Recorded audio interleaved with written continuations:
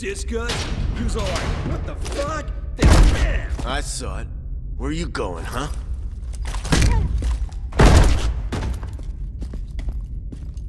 Fucking spy, fucking traitor, trying to sell us out to the Norks for a handful of rice, yeah? Let's teach him a lesson. I'll go first. Easy, Bakes. Dana said we caught anyone, we gotta tell her first. You don't want to piss her off, do you? Well, I just hope she leaves a piece for me. I wouldn't count on it. I don't think I'll be seeing you again.